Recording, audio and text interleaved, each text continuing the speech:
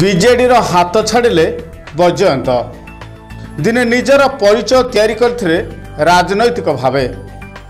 ଦୀର୍ଘ କୋଡ଼ିଏ ଦଶନ୍ଧି ଧରି ନିଜର ରାଜନୈତିକ କ୍ୟାରିୟର ଆରମ୍ଭ କରିଥିବା ବୈଜୟନ୍ତ ନିଜର ବ୍ୟକ୍ତିଗତ ଛାପ ଛାଡ଼ିଥିଲେ କେନ୍ଦ୍ରାପଡ଼ା ଜନସାଧାରଣଙ୍କ ପାଖରେ।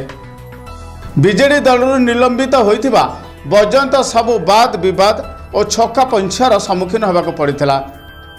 ଆଉ ଶେଷରେ ତାଙ୍କର ସାଂସଦ ପଦରୁ ନିଜେ ଇସ୍ତଫା ପତ୍ର ଦେଇଥିଲେ। ତେବେ ଏଠି ସାଧାରଣରେ ଚର୍ଚ୍ଚା ହେଉଛି କି ଯେ ଏବେ ବୈଜୟନ୍ତ କେଉଁ ରାଜନୈତିକ ଦଳରେ ସାମିଲ ହେବେ? ନା ଆଉ କିଛି କରିବେ? ବୈଜୟନ୍ତ ତାଙ୍କର ଇସ୍ତଫା ପତ୍ରରେ ମଧ୍ୟ କ୍ଷୋଭ ପ୍ରକାଶ କରି ଲେଖିଥିଲେ ତାଙ୍କ ବାପାଙ୍କ ଦେହାନ୍ତରେ ଦଳ ପକ୍ଷରୁ କେହି ଯାଇ ନଥିବାରୁ ତାଙ୍କୁ ମର୍ମାହତ କରିଥିଲା। ଆଉ ସେ ଶେଷ ନିଷ୍ପତ୍ତି ନେଇଥିଲେ ବିଜେଡି ସାଂସଦ ପଦରୁ ଇସ୍ତଫା ଦେବା ପାଇଁ।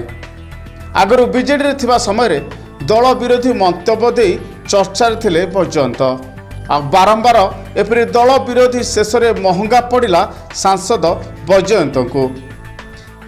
ତେବେ ଆଗାମୀ ଭବିଷ୍ୟତରେ ବୈଜୟନ୍ତ କେଉଁ ଦଳ ଏବଂ କାହା ହାତ ଧରିବେ ତାହା ରାଜନୈତିକ ମହଲରେ ଏକ ପ୍ରକାର ଚର୍ଚ୍ଚା ଜୋର ଧରିଛି। ଭୁବନେଶ୍ୱରରୁ ସୁଧାଂଶୁ ବଳାର ସିଂଙ୍କ ରିପୋର୍ଟ ମେଟ୍ରୋ ଟିଭି।